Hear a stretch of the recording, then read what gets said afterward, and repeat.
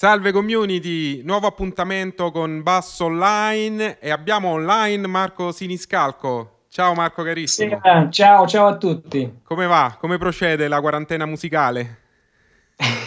la quarantena procede mio malgrado, però la cosa buona è che sto suonando un po' più del solito, sto studiando un po' più del solito, cioè sto un po' studiando perché non riesco mai a studiare, certo. quindi mi sembra già una roba abbastanza buona come, come idea, no?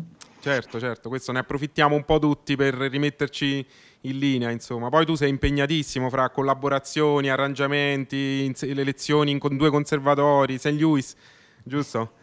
Sarei impegnato molto di più, però mi sono saltati ovviamente tutti gli impegni live, qualcosa invece di registrazione riusciamo a mantenerlo e questo è buono e poi le lezioni online sono, come dire, hanno preso, hanno preso il sopravvento però devo dire che lezioni, diciamo, no, uno su uno, one on one, vanno, vanno bene, cioè sono anche forse, mettiamola così, non ti possono più dire che a casa gli veniva meglio. Esatto. Quindi già è una grande, è una grande um, conquista. Poi quando di, non possono dire no, ho avuto un problema, non sono venuto perché io gli dico vabbè ma la recuperiamo, che problema c'è? Quindi loro no, ormai non fanno più assenza, tanto sanno che io gliele recupero tutte, quindi sono disperati.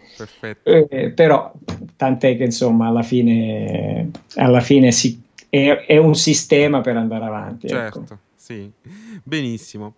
Dai, iniziamo a fare una chiacchierata su di te così ti presentiamo alla community, ti conoscono tutti, però ecco, mi piacerebbe parlare un po' come ho fatto un po' con tutti gli altri, anche delle tue origini, insomma, bassistiche, quindi dei tuoi inizi.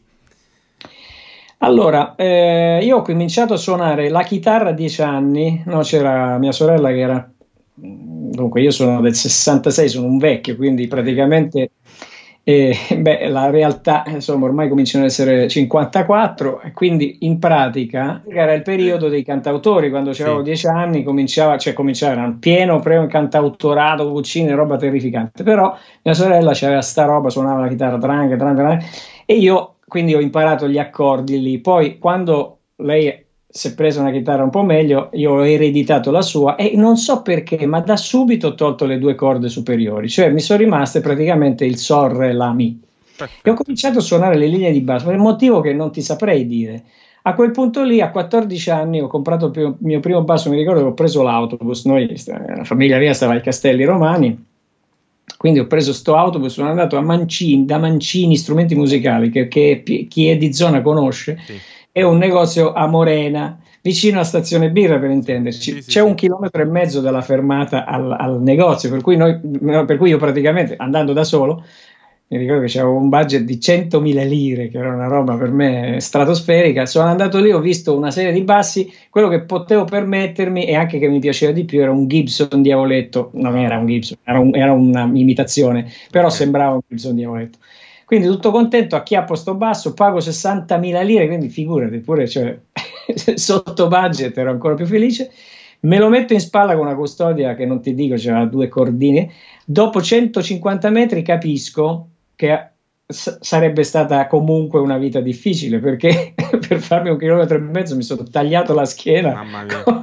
Questo coso per ritornare a casa. Però da lì poi ho cominciato a suonare e come facevano tutti quelli della mia generazione, di quelle prima, e anche di qualcuno di quelle dopo, eh, l'idea era quella di tirarsi giù le cose che venivano, che, che mi piacevano sentendo sui dischi, no?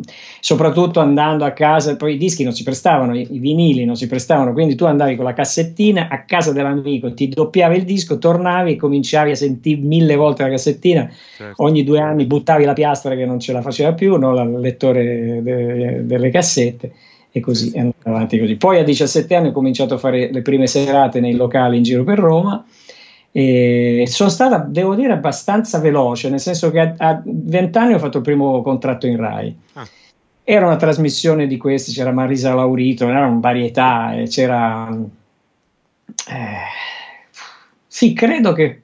Oddio, mm, ho dei dubbi, forse insomma, era, no, non era quella con Marisa, era ancora un'altra cosa che adesso non ricordo bene. Comunque, eh, e questo mi ha dato anche un po' di sicurezza, no? perché poi quando tu cominci c'hai un, sempre la famiglia contro, come è giusto che sia, perché comunque, sai, i genitori non, sanno, che, sanno com'è la vita, no? sanno che non è una cosa è una passione, l'altra cosa è poi andare avanti con gli anni, eccetera. Però quando i miei hanno visto che, che alla fine me la cavavo, già lavoravo abbastanza, appena uscito da, da, dalle superiori, eccetera, così, hanno comunque mi, mi hanno sempre supportato, tant'è che poi sono andato ai seminari di un ho vinto la borsa di studio nell'87 sono riuscito poi ad andare a 22 anni a studiare, ovviamente borsa di studio ma anche supportato dai miei perché i costi non venivano coperti interamente.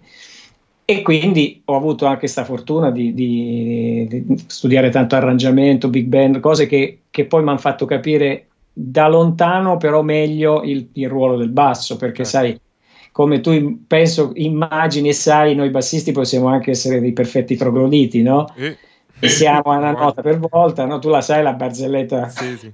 La barzell- delle prime quattro, della se- prima serata fatta con quattro note in prima posizione quella, ma c'è anche il ritorno dalla crociera, tutto il gruppo che finisce la crociera di tre mesi, allora tutti pensano, no, l'ultimo pezzo dell'ultima serata, allora tu i pensieri di tutti, c'è il tastierista che dice, ah, ho lasciato quella, quella, ragazza bellissima alle isole Caimano, mo torno lì, poi l'altro, il, il, il, il batterista che pensa, ah, cioè, a casa torno, mio figlio, mia moglie, perché sono cose... Eh, il chitarrista che dice, no, devo andare a comprare mille pedali da, da Ash, e il bassista pensa do, sol, do, sol. Grande. E beh, i luoghi Quindi, comuni ce ne sono tanti. In effetti una visione armonica eh, no, che, fa, che, abbraccia l'arrangiamento e quindi certo. l'approfondimento delle cose che stanno dietro alle fondamentali eh, mi ha dato una grande mano. È importante. Poi tu, tra l'altro, suoni il basso elettrico, il contrabbasso e pure lo stick. Quindi Suono poi... stick però c'è lo stick facilitato, cioè il bass stick, ah, che sarebbe... Stick che sarebbe uno stick da, con solamente 8 corde invece delle 10 canoniche, soprattutto accordato per quarte. Sì. Quindi invece di avere la, la visione, diciamo, leonardesca, sì, no? sì. contrario, le, le, corde basse, tutto il casino, poi per quarte, per quinte, invece praticamente c'hai un basso esteso fino all'ultima nota della chitarra e almeno quello... Sì, sì, almeno quello resta, però poi resta comunque la difficoltà tecnica, però ovviamente si possono fare cose sicuramente advanced, diciamo, pure dal punto di vista armonico. Sì. Sì, è molto, beh, molto stimolante, diciamo. Pianofortistico, diciamo, no? Esatto, per, esatto. Uno come te che è anche arrangiatore, compositore, sicuramente ti ci divertirai tanto, immagino. Sì, sì, sì, ho fatto cose carine anche con un po' di difficoltà, devo dire, però sì, sì, sì, bello. Senti, tornando ai tuoi studi, no? Io leggevo che tu hai studiato alla Berkeley. Esatto, ho avuto appunto questa cosa che ti dicevo di, di andare a, a, fare questi, prima i seminari che si, che si, fanno ancora tutt'oggi a Perugia e lì ho vinto questa borsa di studio e poi sono andato, eh, Quindi... ho fatto, ho, ho, mi sono diplomato anche lì sempre un po' bruciando le tappe perché avevo fretta, volevo lavorare, avevo poco tempo e avevo pochi soldi, quindi in re, invece che quattro anni sono stato due anni. Okay. E, e nel 90, dicembre del 90 mi sono diplomato e poi sono tornato, sono stato un po' di mesi a New York a vedere concerti, cose che, che mi ero riproposto di vedere e, e poi sono tornato in Italia, ho cominciato a lavorare abbastanza, prima con gruppi vari eh, in quel periodo c'era una quantità di locali a Roma che a pensarci oggi non ci si crede. Anni 90. Anni 90, io mi ricordo che facevo di locali, solo di locali facevo bah, 20 serate al mese, più altri concerti, festival, insomma alla fine ah, ci sono stati dei mesi che, che, facevo tutte le sere, quindi e tra l'altro venivano, cioè le paghe erano proprio una roba che se ci pensiamo adesso ragazzi più giovani, mi dispiace per voi, ma guarda, eh sì. è una roba veramente incredibile. Cioè, anch'io tento a credere che quello fosse. fosse... Eh, era una bellissima realtà. Lo dicono esatto. in tanti dei tuoi colleghi, i nostri colleghi. Purtroppo sì. Senti, e cosa mh, mm, ci puoi raccontare un po' del periodo Berkeley? Insomma, com'era l'ambiente di studio stimolante? Cosa ti sei portato da questa esperienza, diciamo, rispetto all'Italia? Ecco, adesso visto che sei un docente, dei conservatori italiani, facciamo un po' di paragoni. Ma no, i paragoni di quel tempo ovviamente non reggono perché la didattica in Italia al tempo era, era cominciava un po' la didattica fatta in un certo modo, eh, in un modo diciamo analitico e soprattutto interdisciplinare, no? Sì.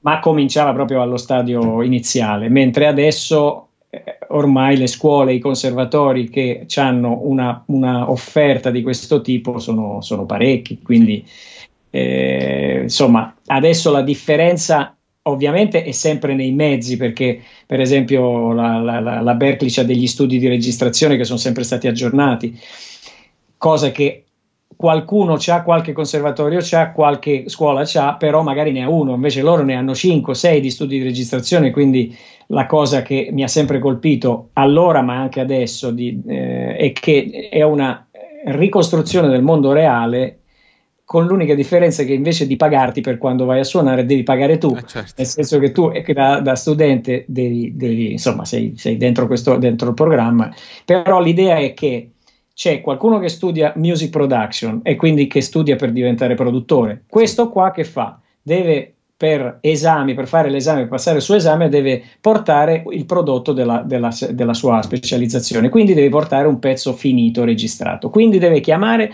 uno che studia songwriting e gli chiede un pezzo originale, uno che studia arranging e gli chiede di arrangiare il pezzo originale e poi convocare la sessione dei musicisti in modo da il giorno X all'ora X da avere lo studio prenotato con i musicisti possibilmente puntuali dentro, registrare, poi chiama uno che studia fonia, gli fa fare il messaggio e dopodiché questo è il suo progetto. Ora, quindi a, a me capitava spesso di registrare eh, in studio mh, mm, cose diverse ed è una cosa che comunque mi ha fatto anche, anche quello, cioè, eh, sai, poi al tempo c'erano i 24 piste, non è che se sbagliavi ti tenevi lo sbaglio, no? certo. oppure cercavi di non sbagliare, no? non era che poi mettevi, aspetta, aspetta, guarda la battuta, metti a posto, sai, no? con finale, con, con, eh, con um, Pro Tools con Logico, con Cubase, fai tutto. Al tempo quello, quindi ti abituavi anche a essere, come dire, definitivo, cioè va bene così, va bene, la volta prossima, se non c'è qualcosa che non mi piace, cercherò di farlo meglio. Se no, va bene, va bene, sono contento, però quella era l'idea, certo. anche perché il tempo lì era, era poco.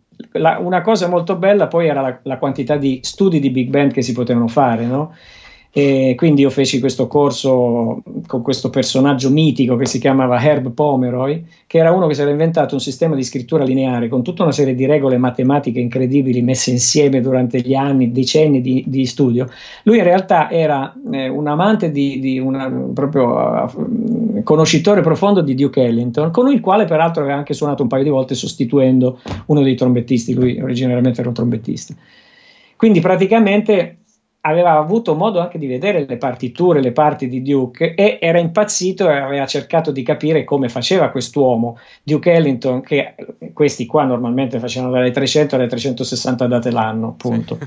Cioè questa era, era, tutte le sere, ma soprattutto in città diverse e l'America è un, è un casino, non è facile, diciamo, ehm, viaggiare perché a parte che al tempo i voli non c'erano proprio, ma anche oggi a me è capitato per esempio di fare una bella tournée con, con il volo, no? con questi tre ragazzi che in, negli Stati Uniti, in Sud America, in tutto il mondo in realtà vanno, vanno, per, vanno proprio a, alla grande. Fortissimo. Avevamo uno sleeping bus, per cui finivamo il concerto a mezzanotte, a luna si, si, si saliva sull'autobus andavi a dormire e ti svegliavi alle 8 a 800 km di distanza perché il problema è che tanto che ne so andare da Cleveland a St. Louis non c'è un volo diretto sì. devi passare magari per Toronto quindi alla fine ci metteresti di più ed è più costoso e più scomodo loro per cui questi poi pionieri del jazz stavano con, se, vivevano in autobus, sì, no? sì, ci sono tanti film, è uscito no, quella, la, il film dell'Oscar l'anno scorso, l'hanno dato, non mi ricordo, Green qualcosa, come, come si chiamava quello dell'autista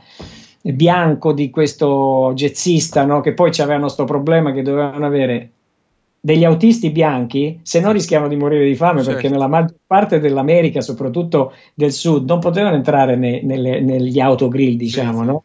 Per cui avevano sempre bisogno di insomma tutta Ma di racconti di questo tipo ce ne sono tanti pure quelli della Motown nel film della Motown no? esatto, esatto. Emerson Ora, che si cambiava il pigiama in macchina esatto lo stesso esatto. Pastorius no? Pastorius eh, aveva uno dei primi sistemi per studiare in autobus il basso, no? Se esatto, ora la, la, la, cosa che, che infatti era, stavano sempre a viaggiare, ma la cosa che stupisce di Ellington è che abbia scritto una quantità di musica incredibile e arrangiata stando in autobus, non sì. c'aveva il piano in auto, quindi questo insegnante storico della Berkeley aveva, capito un po' come, come lui si Faceva. regolava per scrivere i voicing, no? Scrivendo, cioè scrivere, scrivendo poche cose dal punto di vista verticale, poi scriveva tutte delle linee. Sì. Quindi ecco, quello è stato una, un corso bellissimo. Ma poi devo dire che sono stato fortunato, sempre preso, sono, sono riuscito a prendere dei corsi molto interessanti.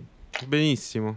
E, ma tu quindi sei partito subito molto jazz oriented perché sei andato Umbria Jazz, mi dicevi, e poi da lì borsa di studio.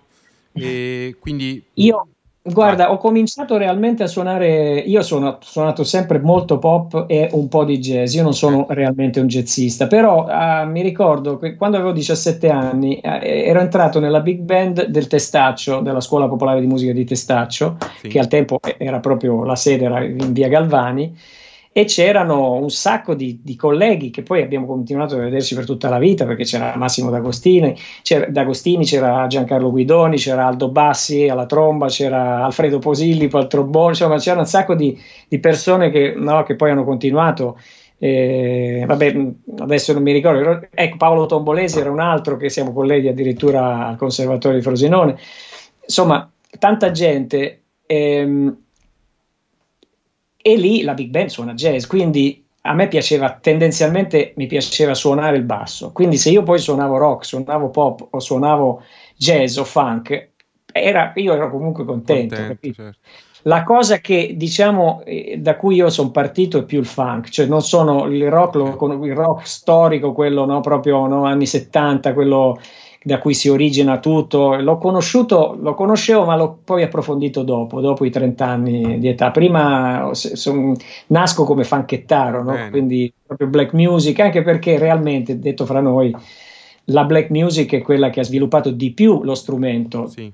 del basso elettrico, mentre invece i rocchettari alla fine doppiavano le linee di chitarra, adesso insomma i rocchettari mi salteranno al collo. Sì, diciamo alle origini, per, poi magari le cose sono cambiate. Jack Bruce o John Entwistle, però certo. generalmente il bassista nei gruppi rock era un, era un, chitarrista che non riusciva a suonare la chitarra, mentre nei gruppi funk era un bassista sì. oppure era un batterista convertito, cioè tendenzialmente aveva molta più, molta più, molto più movimento. Eh, ecco. pensi a Sly and the Family Stone, no? per esempio, Larry Graham, ma non solo lui, lui è stato a capo scuola. Sì ma poi Vabbè, Bootsy Collins, no? Bootsy Collins insieme a, a, a Phelps Collins, certo. i due fratelli, la ritmica di James Brown, insomma. Ma lo stesso roba... Pastorius, no? Era molto funky. E questa cosa... Eh, poi, come dire, da certi jazzisti è pure vista un po' male, no? Quando si viene dal funk. Il bassista jazz lo vogliono puro jazzista puro, no? È un po' come... il bassista jazz, adesso si è un po' tornati a, a sta cosa, cioè il bassista jazz deve essere un contrabbassista sì. e il resto è, lo fa il bassista elettrico. Poi ogni tanto arriva qualcuno come Chris, Mac, Christian McBride ecco. e ci dice guardate che però non è necessariamente così. Prima c'è stato Patitucci, poi adesso ultimamente c'è Chris, Christian McBride oh, e ce ne sono, ce ne sono di, no? che, sì, sì.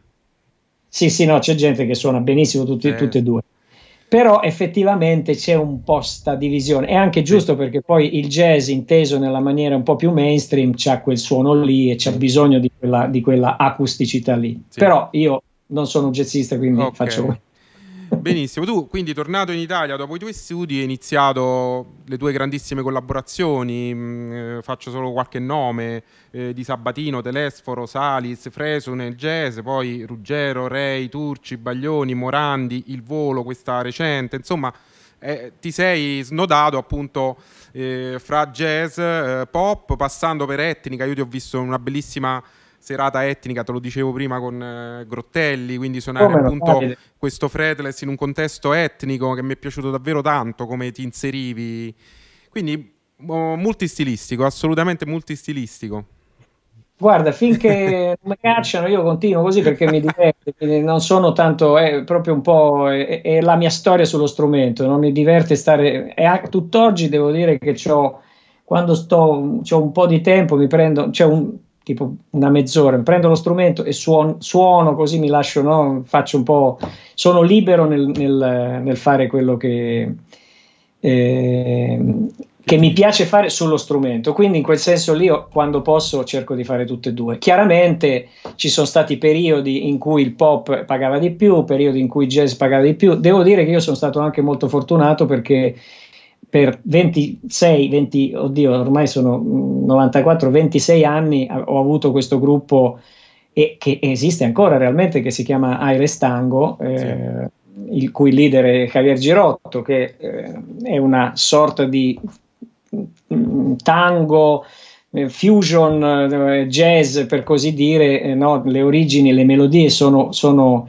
tutti i pezzi originali, però l'ispirazione è quella argentina, non solo realmente di Buenos Aires, quindi non solo il tango, ma c'è anche molto folklore nelle parti interne di Cordova, insomma, mh, mm, quindi anche cose che sono realmente poi lontane dal tango, però c'è quell'ispirazione latina molto forte e questo gruppo per anni realmente è stato dal punto di vista eh, lavorativo, oltre che ovviamente artistico e, e, umano, ma dal punto di vista lavorativo è stato proprio una fonte di sostentamento spesso molto migliore de, de, delle tournée che c'erano in quel periodo, quindi, quindi, non mi è neanche tanto poi pesato certo. fare la scelta perché a quel punto lì, quando la cosa è ingranato, era come dire musica che mi piaceva, stavamo bene insieme ed era anche pagata molto bene, quindi perché no? no? Certo. a proposito di, di, pop e jazz, eh, mi piace citare un, un, bel progetto, un progetto a cui io sono molto affezionato, che abbiamo con Paolo Di Sabatino e Fabio Concato, che realmente è proprio un po' la sintesi di questo discorso, no? perché spesso c'è questa cosa, il pop, il jazz, i jazzaroli che odiano i popparoli, i popparoli che odiano... Beh, vabbè, secondo me non è così.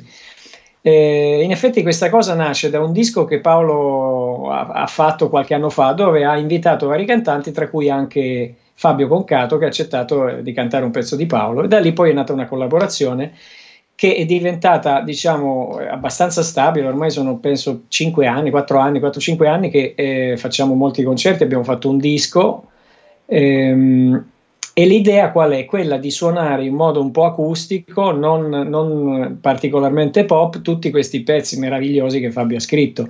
Quindi lui eh, viene, interpreta i suoi pezzi con noi che li suoniamo, come dire, ci, ci, ci, sopporta in qualche modo, però mi sembra anche realmente che sia, sia contento di questa nuova veste che abbiamo dato a, che Paolo Di Sabatino, ovviamente con i suoi raggiamenti, ha dato ha dato que- alle sue canzoni.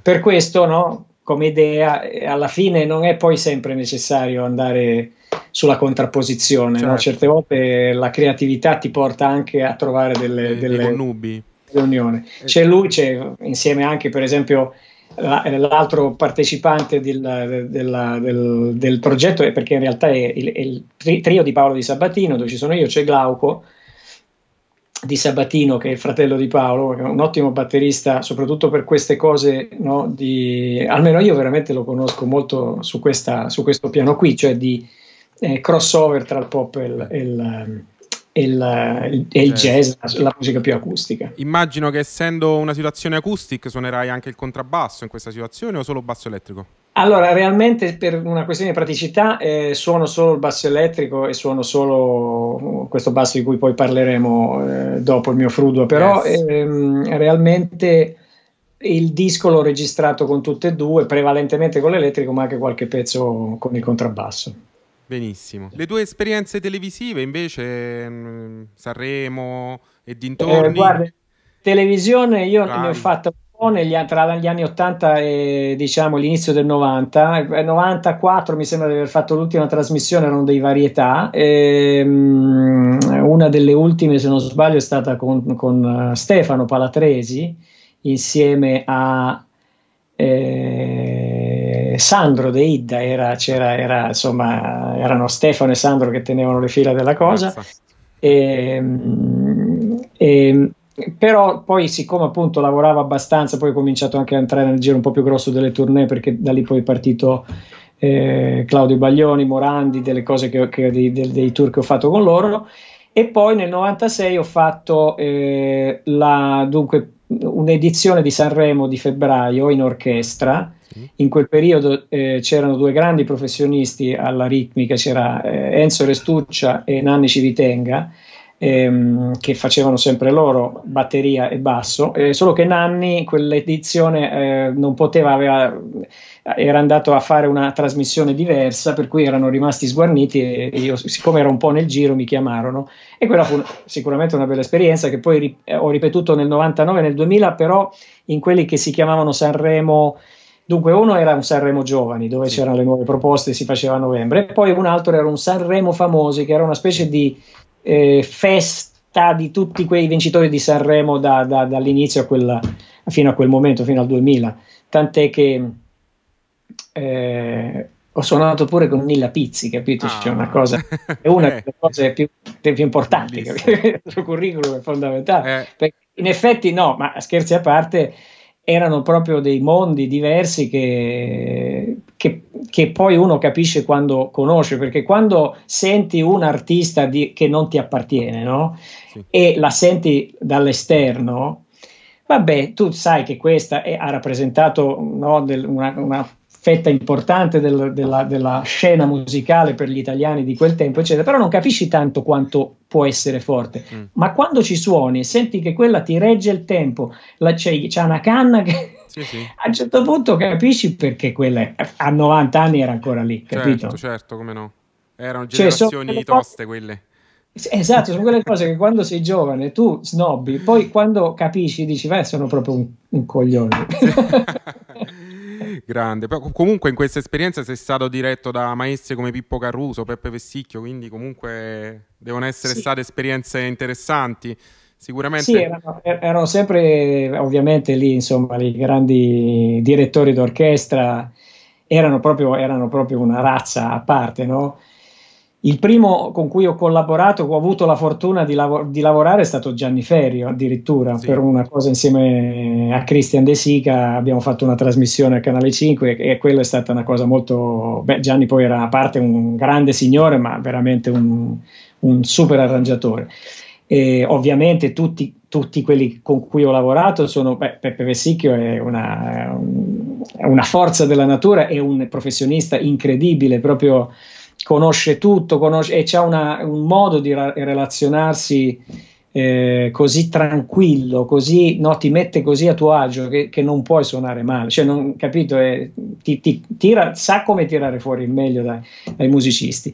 Un, una grande persona, un grande musicista con cui ho, eh, ho lavorato è stato proprio Pippo Caruso, Pippo. che ehm, io insomma ho, ho, amato particolarmente, era, quello era il direttore eh, d'orchestra dell'edizione del 96, lì c'era ancora Pippo Baudo, era ancora tutta la serie dei, dei, degli show baudiani sì. e quindi lui era quello che eh, lavorava. Ma e, mi ricordo che c'è questo, non so se possiamo raccontare questo, questo episodio, Perché che no? mi fa sempre ridere.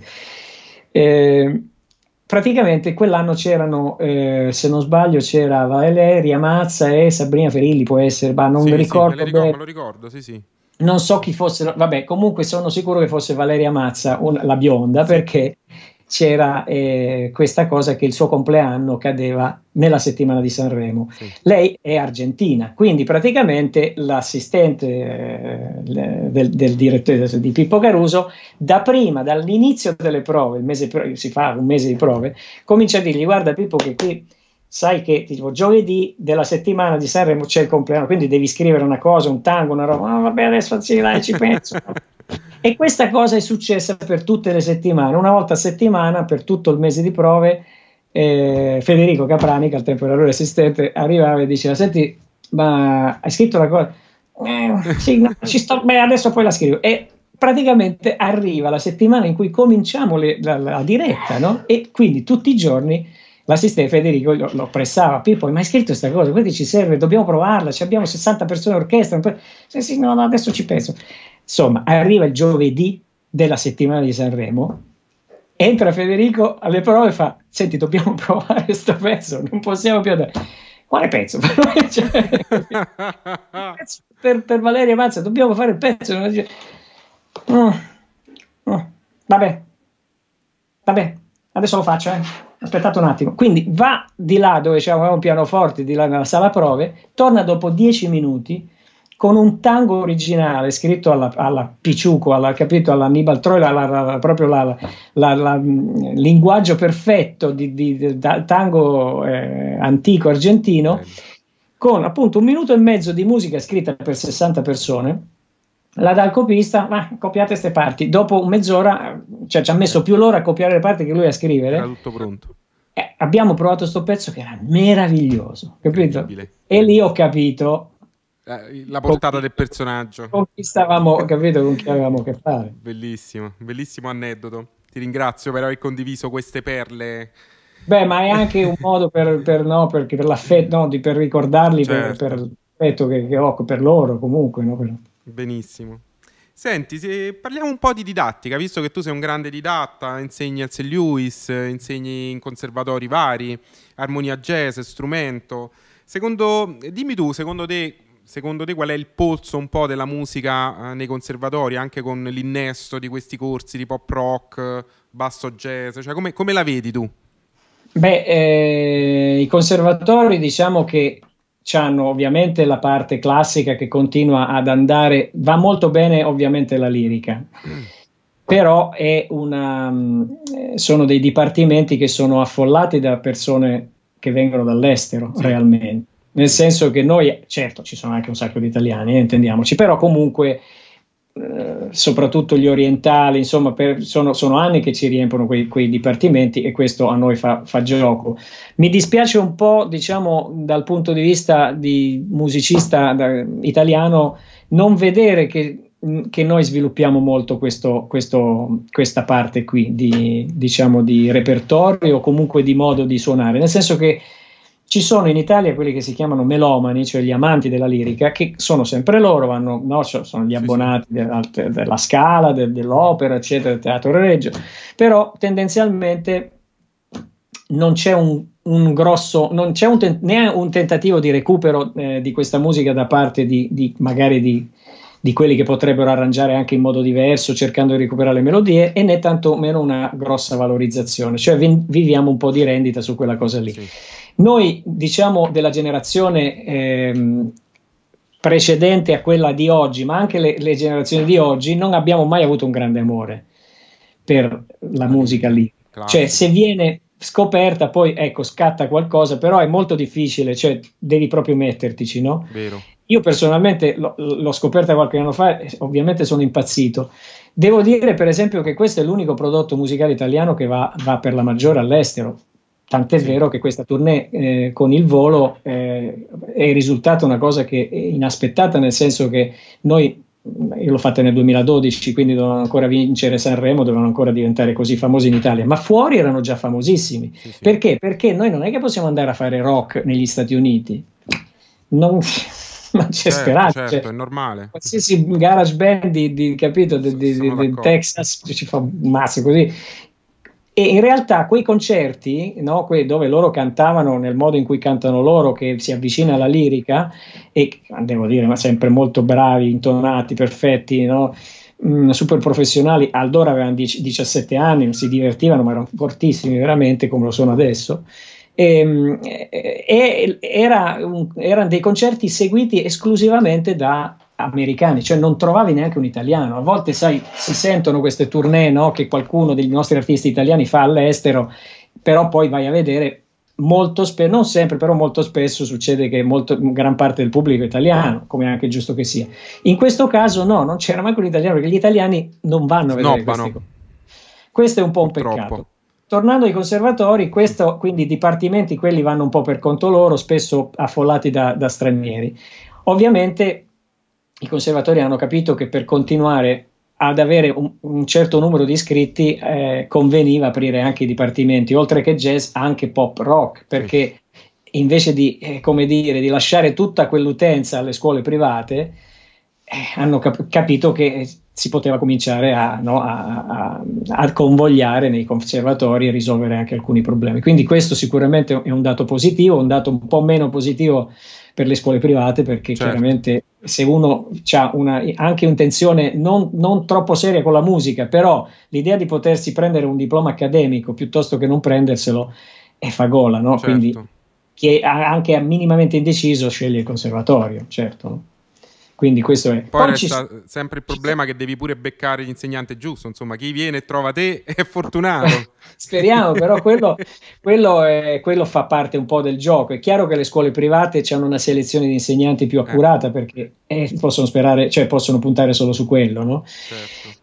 Sui conservatori è vero che anche lì è anche molto cambiato, nel senso con la, con la calata un po' no, della richiesta dei concerti da una parte e anche con la, di, con la, con la diminuire dei cachet, mentre una volta eh, quelli che suonavano a un certo livello suonavano e basta, adesso vedo, vedi spesso che ci sono grandi nomi anche nei conservatori. No? Certo per cui trovi Fabrizio Sferra che, o Roberto Gatto che insegnano batteria, trovi Danilo Rea, trovi Rosario, Giuliani, eh, trovi, cioè, trovi Ida, per dirne un altro, eh, bravo. Dario Ida, Sandro De Ida, certo, trovi, ma, ma, adesso insomma ne, abbiamo detti alcuni, ma non me ne vogliono gli altri, ma sono, cioè, c'è un sacco di gente che, che veramente no, pensa anche Marco Tamburini che purtroppo ci ha lasciato tre anni fa che è quello che ha aperto il Dipartimento di Jazz al Conservatorio di Rovigo dove io ho avuto la fortuna di, di insegnare per un anno gli hanno, gli hanno, intitolato un bellissimo auditorium ha fatto, lui ha fatto un lavoro incredibile e nel frattempo faceva i turni con eh, Giovanotti, con, cioè voglio dire, era un musicista pazzesco. No? Cioè, Quindi, ci si barca eh, insomma, Questa cosa de, de, dello studio, io vedo anche ci sono tanti artisti ehm, che, che sentono l'esigenza dello studio, ci sono tanti tanti mh, artisti che, che, a un certo punto si fermano oppure che approfondiscono delle parti del, della loro formazione musicale eh, utilizzando anche delle didattiche. Guarda, ti faccio un esempio che, che, che per me è, stato incredibile. Ehm, io ho avuto la fortuna di, di, di suonare per 4-5 anni di seguito eh, con Carmen Consoli, no? Sì eh, che è una grandissima cantautrice, secondo me una delle migliori che abbiamo e soprattutto c'è un mondo di originalità incredibile. Tra l'altro anche lì c'è un bel aneddoto perché nel 96 lei faceva la prima edizione di Sanremo dove io suonavo il basso, per cui ci eravamo già incontrati. Poi purtroppo eh, la cosa è andata strana, nel senso che io ho, ho purtroppo preso il posto di, del il suo grande Leandro. Del grande Misuriello, che, Misuriello, che era, era, un bassista incredibile che purtroppo ha avuto questo incidente letale e, insomma, alla, alla, fine di una serata stavano andando a prendere una cosa, purtroppo è stato investito. E, eh, insomma, Carmen, proprio l'anno scorso, a un certo punto ci siamo sentiti e, e mi, mi, parlava, appunto, aveva cominciato questo corso per corrispondenza eh, alla Berkeley, fatto molto bene, perché lei era da tantissimo tempo che voleva approfondire delle cose di arrangiamento, lei poi è bravissima a scrivere canzoni, vabbè, ma anche scrivere archi, se, se sempre mh, i, i, molti degli arrangiamenti suoi dei suoi dischi li ha comunque poi alla fine, eh, eh, come dire, architettati lei, scritti lei, insieme poi ovviamente a Massimo Roccaforte e i suoi collaboratori, però lei era quella che aveva sempre la visione molto, molto chiara, lavorando con lei ho questa sensazione proprio di lei che di, ci dirigeva un po' tutti, quindi ha sempre avuto questa cosa, a un certo punto si è messa a studiare per dirti no, sì, sì. che sai, magari una...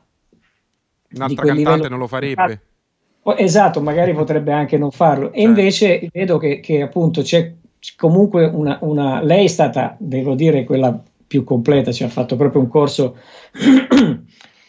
mm, pensato no, per, essere, per, essere, fatto a distanza e, e di, della qualità della Berkeley. No? Sì. Però ecco, mi, mi, mi, ha fatto molto piacere vedere questa cosa perché, perché ci sono delle cose che poi evidentemente i veri musicisti a un certo punto devono maturare e devono approfondire. Ecco. Benissimo. Eh, senti Marco, uh, è, è, giunto il momento di, di, parlare un po' di strumenti. Abbiamo parlato di carriera. Di... Adesso, uh, prima Succede. mi stavi facendo un po' sentire il tuo bellissimo Frudo a fretless. Sì, che dici? Beh, facciamolo sentire un po' pure alla community, che è uno strumento spettacolare. Poi nelle tue mani non ne parliamo proprio. Speriamo perché è un po' che non lo suono, quindi sono stonatissimo. Io sono poi un bassista stonato, quindi... Eh, vabbè. Se sei stonato tu non lo so, guarda, eh. noi, noi leviamo mano, noi comuni mortali.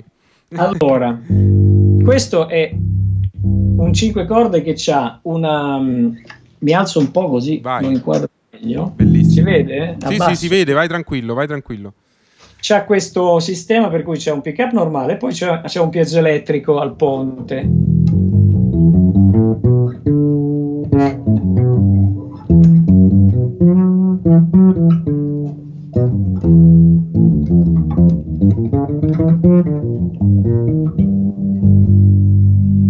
Che è, devo dire, ha questo, questo suono ovviamente senza tasti che però è abbastanza lontano da quello che per, per, noi bassisti è il senza tasti, cioè Giaco. Classico Fender, diciamo. E io l'ho scelto un po' apposta proprio per evitare di cadere, eh, come dire, nella tentazione, no?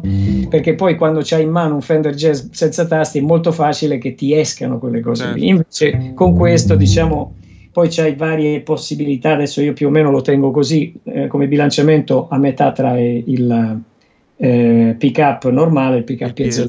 Poi ha anche un, un, piano armonico sospeso, vedo, quindi sì, esce un suono molto acustico.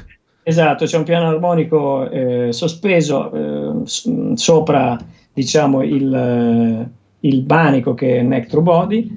Bello. E poi c'è l'elettronica, insomma. Eh, Io poi è molto sentito leggero. suonare anche dal vivo e confermo che c'ha un suono strepitoso. Sì, devo dire che questo è uno strumento a cui sono molto legato.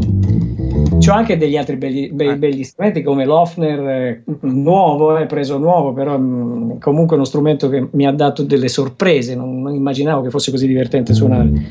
E vabbè, poi ho Yamaha da sempre, per cui c'erano, c'erano 4, 3-4 di Yamaha che sono comunque degli strumenti molto belli. C'è il mio basso di punta che è questo qui, è l'NE2 che è praticamente natanist, no? Bellissimo.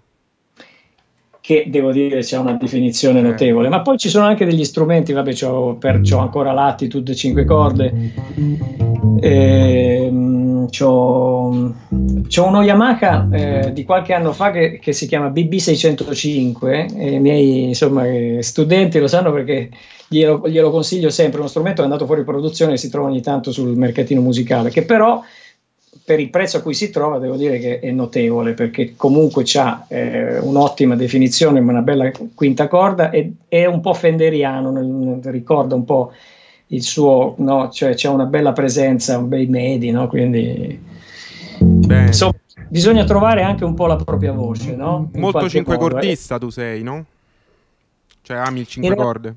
Eh, sì, in realtà io ho un, un, jazz, un vecchio Fender Jazz che realmente ho comprato nuovo negli Stati Uniti nell'87, e, infatti si è invecchiato con me, ed è un basso che hanno prodotto per tre anni, era una reissue vintage che hanno fatto dall'86 all'89, perché poi sono cambiate delle leggi, in California mi pare di, mi pare di aver letto che erano entrate in vigore delle leggi ambientalistiche per sì. cui le vernici al nitro non potevano più essere usate e quei bassi, quelle, quelle, riedizioni vintage che facevano, che hanno fatto in quei tre anni, erano fatte perfettamente uguali a quelli del 62.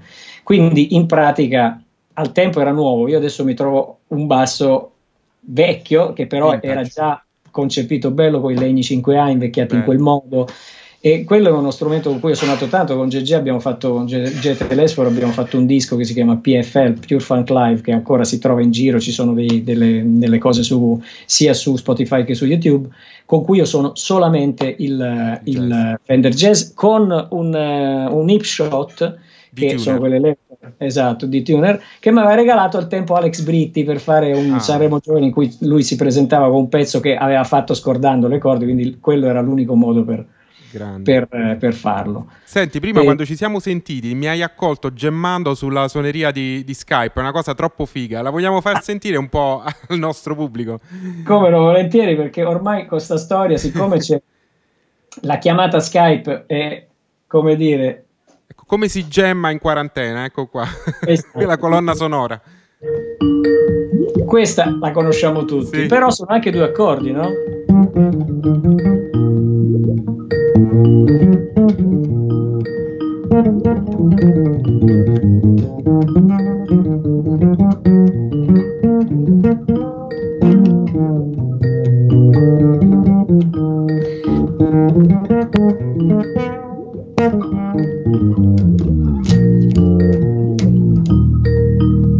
Figata, complimenti, davvero bello. È un, alla fine diventava un modo per passare il tempo prima che, sì, sì, rispondi. infatti. Senti, eh, allora ci siamo fatti una bellissima chiacchierata, abbiamo vi- sentito il tuo bellissimo strumento. In chiusura ti vorrei chiedere qualche consiglio per i giovani bassisti studenti, diciamo così, questi che comunque nei conservatori tu eh, incontri adesso online, prima nei conservatori, insomma, che, che, cosa ti senti di consigliare, visto anche il periodo storico, insomma, della musica, ecco, appunto? Eh, guarda, eh, io credo che ci, sia, eh, ci siano tante cose che si possono fare che sono tutte valide, però c'è una cosa fondamentale, credo, che è quella di ehm, portare avanti dei progetti propri lo dico poi io che non sono proprio uno bravissimo a fare questo, però qualcosa lo f- sono riuscito a fare e, e, so- e, poi sono state delle cose che mi hanno sempre dato soddisfazione, ma mi hanno anche dato un certo equilibrio dal punto di vista musicale, perché quando devi decidere le, tu che cosa vuoi fare, no? come vuoi, che taglio dare al tuo progetto, che tipo di arrangiamenti, che strumentazione vuoi scegliere e anche dal punto di vista umano chi andare a, a prendere, che non è proprio l'ultimo dei problemi, no? perché puoi avere una super band eh, però di gente un po' strana per cui poi magari dura poco o fai molta più fatica, però quando fai tutte queste scelte anche eh, la, la, diciamo, il tuo essere musicale si eh, definisce meglio, capisci meglio quello che sei musicalmente quando sei tu certo. Quando produci.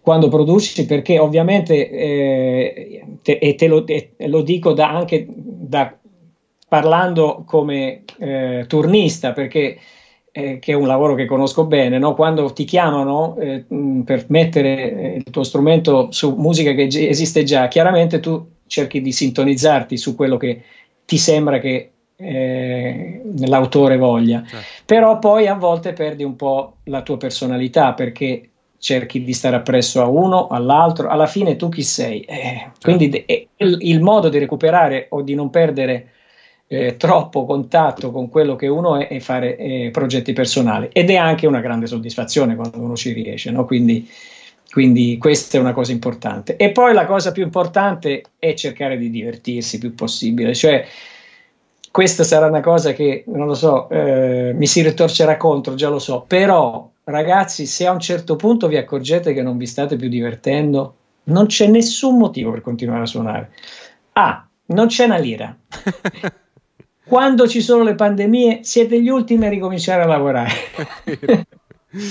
Quando ci sono problemi, no? qualsiasi tipo di problemi di, di natura elettrica, oppure cioè, mh, cioè, manca la luce, se suonate il basso elettrico, il batterista continua a suonare, il cantante, il sassofonista, niente, quindi a maggior ragione sugli strumenti elettrici c'è un handicap di più, quindi se non vi divertite, accannate subito e trovate una cosa che come minimo vi diverte o se non trovate niente che vi diver- diverta, cercate un lavoro che vi fa guadagnare un sacco di soldi. Va bene, Beh, è, un, è un ottimo consiglio, molto, come dire, onesto, diciamola, perché comunque è vero, è tosta, eh, però ecco cerchiamo di divertirci, i ragazzi sicuramente eh, si, si divertiranno, soprattutto eh, a fare lezioni con insegnanti del tuo calibro. Spero, dai, spero comunque, insomma, è, è una cosa che, che, mi dà anche molta soddisfazione e tra l'altro tanti miei allievi eh, mi tengono aggiornato con le cose che escono, con, no? Cioè il fatto anche di insegnare è anche un, un, un buon modo per tenersi aggiornati sulla marea di roba che tutte, tutti, le, tutte le settimane esce su YouTube, su certo. Spotify, che certe volte uno non, non riesce a stargli dietro, no? certo. E anche sulla tecnologia, i pedali che escono nuovi, cioè spesso magari mi trovo a comprare dei pedali che mi ha consigliato il mio allievo, quindi alla fine realmente è uno scambio. No? Ottimo. Quindi, Va bene Marco, io ti ringrazio davvero tanto per questa bellissima chiacchierata. È stato, è stato un piacere grandissimo, ci siamo rincontrati attraverso Facebook Benissimo. che ho attivato da poco perché come sì, qualcuno sì. sa eh, era un troglodita di, di no, un orso dei social. Adesso sono rimasto nel senso che ce l'ho ma lo guardo quasi mai. Vabbè, Ottimo. abbiate pazienza. Però intanto ci siamo beccati grazie alla tua volontà. Ti ringrazio. Spero di riuscirti a rivedere live che fi- quando finirà tutto questo casino, che è sempre un grande piacere. E ti saluto anche a nome della community, ti ringrazio, un abbraccio e a presto. Ciao. Grande. Marco. Ciao, ciao Fabio, grazie. Grazie a te.